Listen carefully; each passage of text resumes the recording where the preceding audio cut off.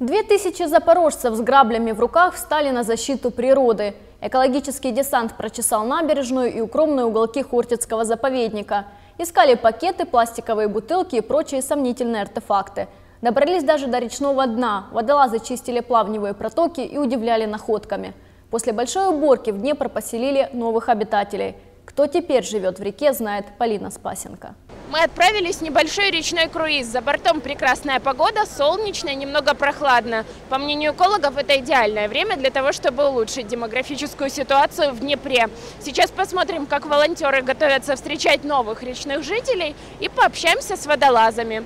Прежде чем рыбы отпразднуют новоселье, дайверам предстоит хорошенько потрудиться. Говорят, на дне Днепра можно обнаружить много неожиданного. Вон какие-то тормозные колодки, унитазы, там, ну все такое, как обычно, собственно. Вот, куски сетей, вот. Ну, а там посмотрим дальше. Детские ванночки, все что угодно. Наиболее опасен будет э, то, что достают подводники, это обрывки сетей.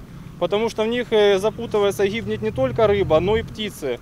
То есть в этом году у нас было несколько случаев, когда чайки охотясь за рыбой, попадали в сети, запутывались. Акция по спасению природы развернулась не только на воде. На берегу волонтеры складируют трофеи, найденные в хортицких чащах. Последний субботник в этих краях был 20 лет назад, говорят организаторы. Добраться до плавневой части заповедника не так-то просто. Те, з чим ми сьогодні працювали, це сміття, яке не приноситься спеціально. Це сміття, яке виноситься течією. Можливо, воно навіть не із Запоріжжя. Найбільша проблема це пет-тара.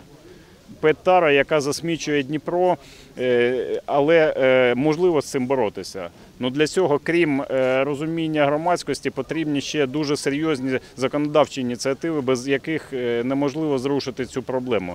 А пока сотрудники запорожских предприятий ради благородного дела готовы жертвовать выходными. Руководители заводов оставили дома официальные костюмы и тоже вооружились граблями. Акция «Спасем Днепр вместе» – это инициатива городских общественных организаций, которую с удовольствием поддерж... поддержал комбинат «Запорожсталь». Причем поддержали мы не только финансово, а поддержали, самое важное, людьми. Это масштабная акция по тому, чтобы еще чуть-чуть навести порядок в нашем городе. Будет предоставлена машина для вывоза твердых бытовых отходов, которые здесь будут накоплены. Здесь предоставлены точки для подключения электроснабжения, ну и ряд других мероприятий и функций, которые непосредственно выполняют наши коммунальные службы. После большой уборки в реку выпускают новых жителей. Акватория Днепра пополнилась 20 тысячами толстолобиков. Данный вид э, рыбы является биологическим мелиоратором, фактически санитар водоема, поэтому данное зарыбление оно поможет э, сделать наш Днепр чище. За день грандиозной уборки собрали 18 тонн мусора. Организаторы уверяют, эта акция не последняя. В следующем году надеются привлечь к участию еще больше людей. Убеждены, чистота родного города касается каждого запорожца.